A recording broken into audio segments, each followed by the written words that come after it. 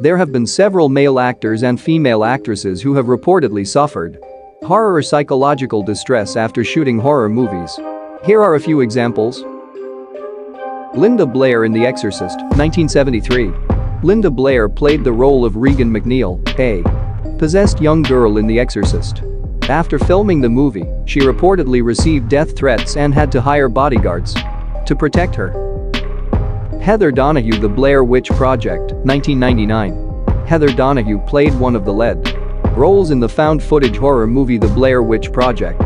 After the film's release, she received hate mail. Jamie Lee Curtis Halloween, 1978. Jamie Lee Curtis played the iconic role of Laurie Strode in John Carpenter's Halloween.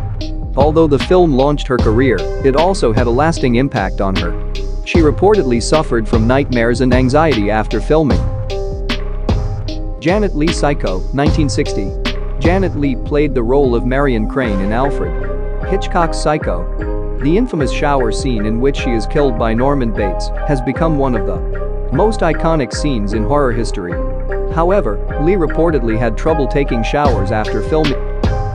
JoBeth Williams Poltergeist, 1982.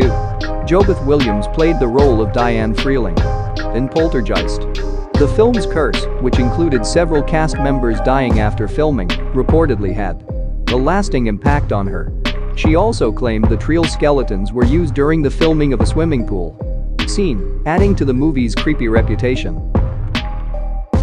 Heath Ledger Ledger played the role of the Joker in The Dark Knight, which is not a horror movie per se, but it does contain elements of horror.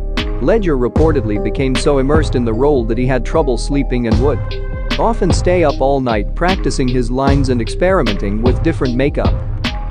Sadly, Ledger passed away before the film was released, adding an extra layer of tragedy to his already unsettling performance. Will Poulter, who also appeared in the film, had nightmares after seeing it. I had the worst night's sleep of my life the night after he said. Terrible, terrible, full-on nightmares. The film is utterly disturbing. And it's that kind of disturbing feeling that I think lingers longer than a fright.